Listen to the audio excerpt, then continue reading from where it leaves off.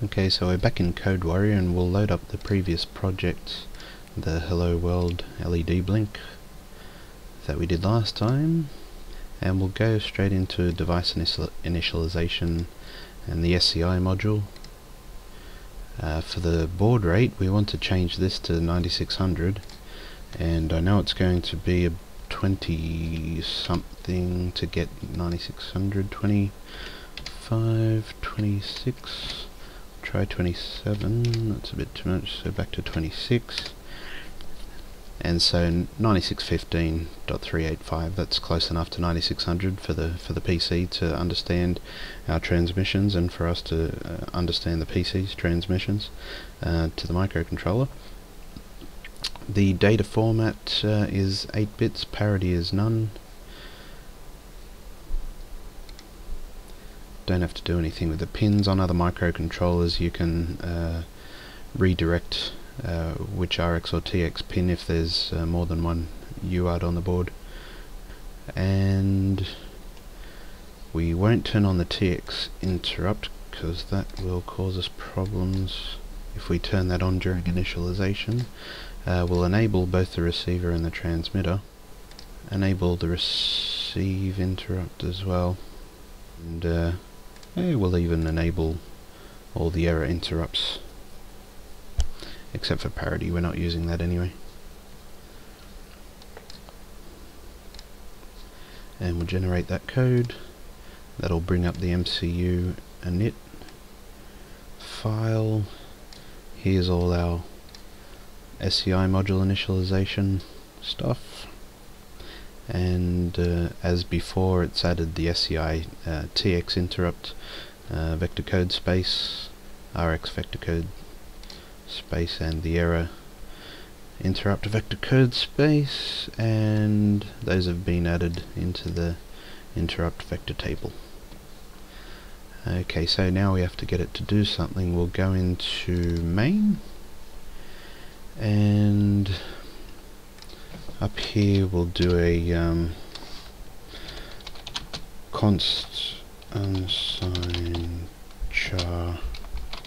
When you do a constant string uh, this will automatically uh, be null terminated when it gets compiled and of course that needs to be an array. Alright.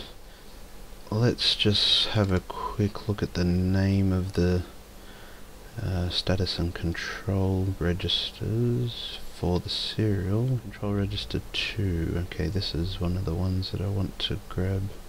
Just the names of um, uh, the transmit control interrupt. And I'm just going to paste them there for the moment. For the transmit interrupt, uh, we're just going to make a function uh, tx interrupt handler. And that'll get called and we're going to put that uh, declarations go up here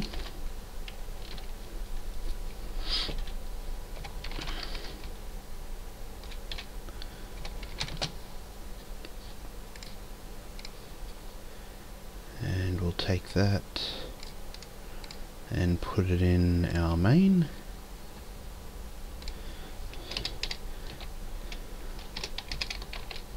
We'll put in a flag.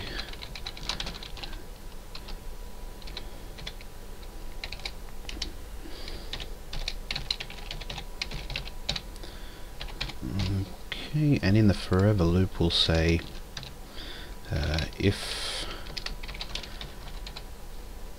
if you see tx start flag uh, equals 0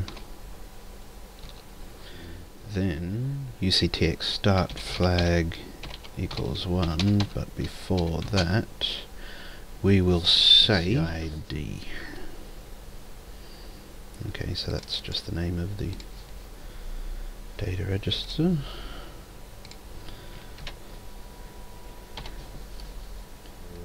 initialize a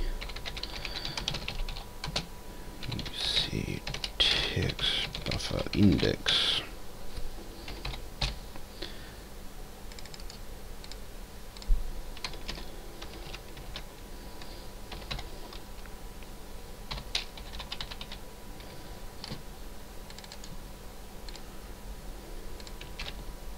Uh, so to begin with, if we haven't started sending anything, we'll uh, set the buffer index to 0 and send the character at uh, index 0 which is going to be H and we'll set the uh, we have started transmitting flag uh, okay. to 1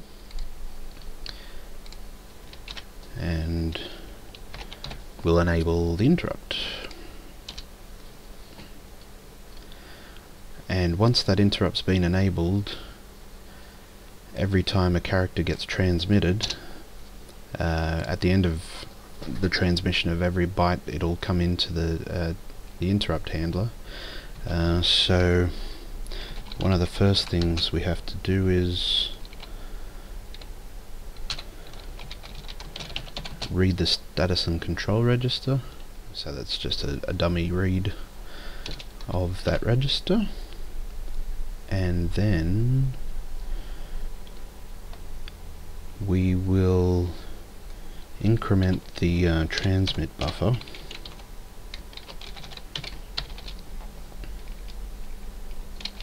And then we'll we'll check it to see if this character is a null character or not.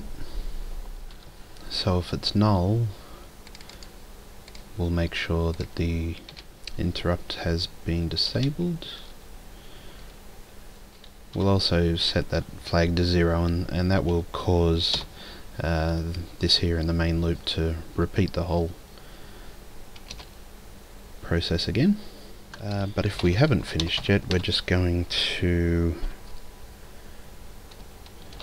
send out the next character.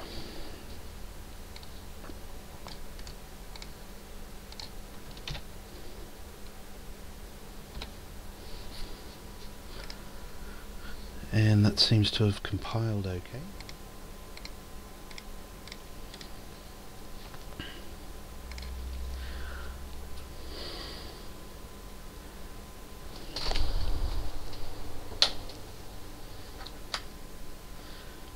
Okay, now if we debug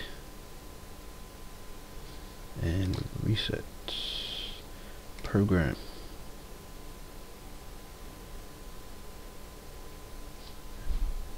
and go. And we'll flick over to hyperterminal and there we go. Hello world hello world hello world. And you can see I'll just stop it for a second uh, but you can see that's word wrapping around to the other side. So that's um, transmission